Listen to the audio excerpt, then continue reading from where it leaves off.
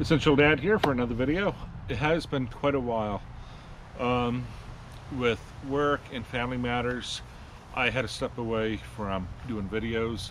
It's not what I wanted to do, but I had to do it. But um, I'm back again. It's uh, May 19th, 2023, and I'm ready to get rolling on uh, my channel and bring you some new uh, information, gear reviews, and hopefully everyone finds it um, interesting. Anyway, today um, I'm out in my garden. I'm going to do a little video on my garden, show you what I have going on. Uh, I'm really excited about my new potato stands or my potato buckets. I started them last year. I tried a few. I had roughly a dozen. And the yield was actually very, very impressive. I done them in my garden previously and I found the soil was not um, it did not give a good root base and it did not allow for, for the potatoes to actually form off the tubers. And so um, I didn't get as many as what I wanted. Then I found out about potato buckets and um, last year when I done I found the soil to be really loose in the bucket and so it allowed the potatoes to form off the tubers and it really uh, appealed to me because my backyard's built off of old construction uh, material, especially here in the city. You get the subdivisions, and the soil or topsoil is very shallow, and most of it is just backfill from when they um, built the homes and subdivisions. They just pushed it over with the dozer, and it's just horrible ground to uh, plant and have a garden in. So, for anyone uh, that lives in an apartment and has a patio or you have a small condo, uh, maybe a smaller backyard, uh, going with buckets and making stands is a great way to uh, grow your vegetables in because you can essentially grow anything you want in buckets and it doesn't you don't need the uh, yard space to do it. So today I'm going to show you um, how I done my potatoes. These buckets as I said come from uh, a grocery store. They're free. Most grocery stores throw these buckets out. They're used to hold oil for uh, the deep fryers, for their uh, uh, french fries, onion rings, that sort of stuff. But they throw out the buckets. And so think of um, your local stores and how many hundreds, if not thousands of these they throw out every year. You can go there and ask them if they have any buckets. These are all food grade and this is a great way to get buckets for uh, a garden. And it also prevents that from going to uh, the uh, garbage or uh, trash. Um, these buckets as you can see I drilled several holes in the bottom. You need good drainage to uh, drain the water off of them. That way when it rains it doesn't drown the uh, tubers and rot out the seed or potatoes. You need drainage in the bottom of the bucket some people put uh, wood shavings in the bottom. That way it also uh, drains uh, the water off. You can do that. Some use very fine pebbles in the bottom. That way it uh, drains the water off. I found with mine last year by mid-July, August, it was so dry that um, I needed the soil to hold the moisture in it because it was so dry and hot I didn't have the moisture uh, to keep the potatoes alive without watering them every day using the garden hose. And so I just use a mixture of triple mix, peat moss, sheet manure, um, soil, which I just buy from uh, the garden center, and I mix together. And this is what I have in my garden beds, and I continue to use that. As well, every year uh, during the fall and winter, I take all my scrap uh, produce, vegetables and fruit, and I'll throw it out into a pile in my garden somewhere and I'll let it sit there and it'll rot up and it'll decompose and go back into my garden. So all of my scrap waste uh, from the greens I eat or fruit and vegetables I eat goes directly back into uh, the garden and I create my own compost. So I have a very good um, source of nutrients for my garden and my uh, potato buckets. As well, I use uh, grass clippings to help uh, keep the sun off the soil and it uh, as they're just growing and it holds the moisture into uh, the buckets as well. It keeps uh, the sun from drying out the tops. After I fill up my buckets to fill up the soil on the tubers, it also gives um, compost or food to the tubers as they mature and grow for the rest of the summer. So my grass clipping serve serves as two um, things, actually three things, let me correct that. Any late frost in May, my grass clippings, and I don't overfill them, but it also protects it from the frost because grass clippings is like hay. It protects your uh, tubers or your crop from the frost. All right, here's my garden plot.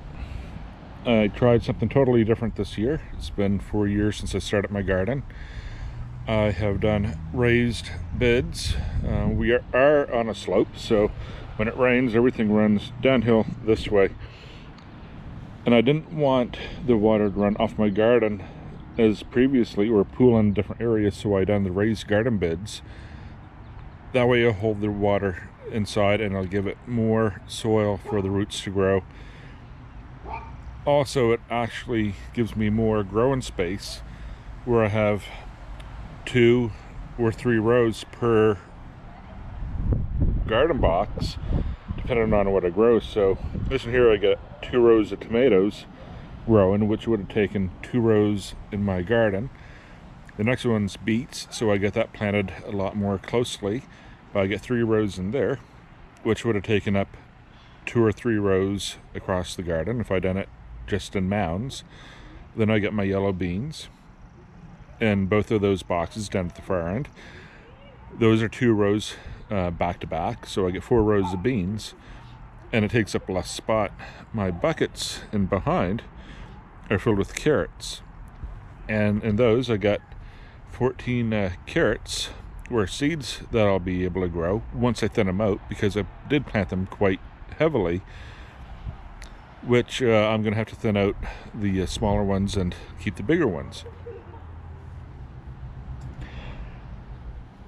So, second week of April, we had a warm spell. Me and my daughter came out and we made these potato stands. I get the buckets uh, from where I work. They're from a local uh, grocery store. They use them in the deep fryer section where they roast the chickens and uh, taters and all these buckets they were going to throw out. And so anyone who's looking to uh, grow a garden in buckets or raised beds, go to your local grocery store and see if they have any buckets that they're going to get rid of. Because these are all food grade buckets and they were going to be tossed out anyhow. So all these buckets are free. I got over 50 of them, which we're going to be uh, throwing out in the landfill, and they give them to me for free. So after I made the uh, potato stands and I had the buckets, I get the covers over here to the side. On colder nights, I can cover up the buckets so it acts like a greenhouse and it keeps my plants warm so the frost doesn't uh, bother them. But the second week of April, I was already planting my potatoes.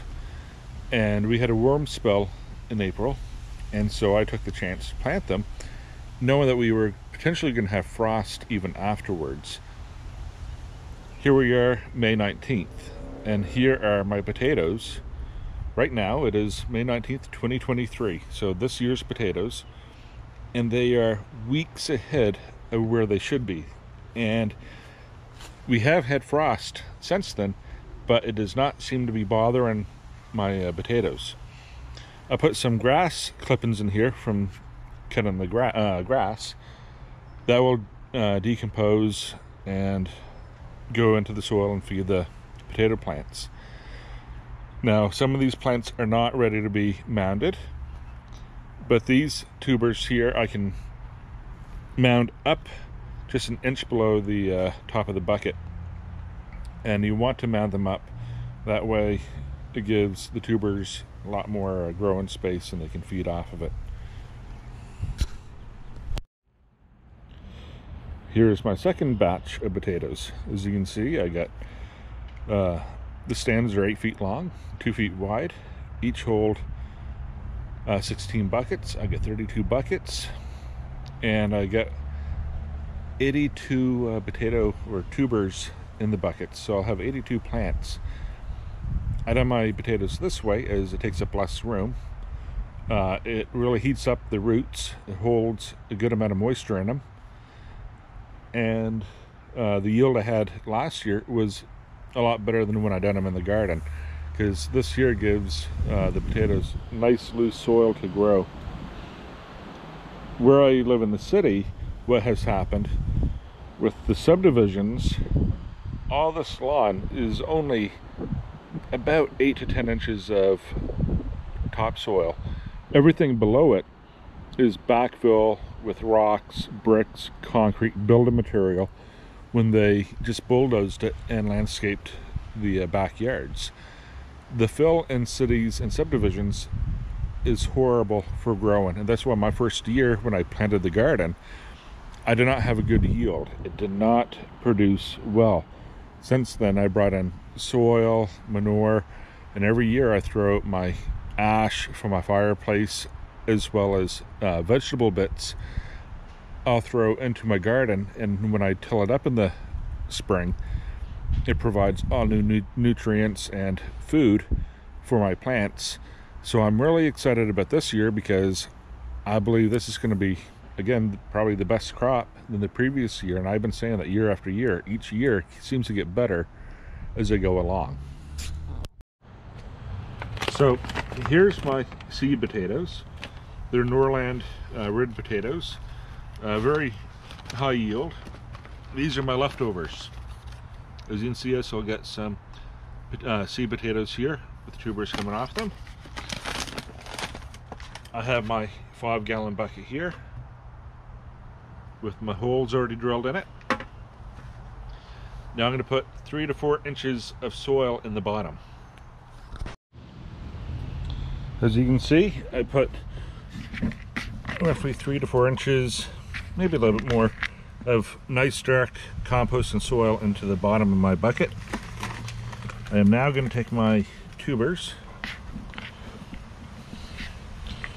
I'm just going to put them in.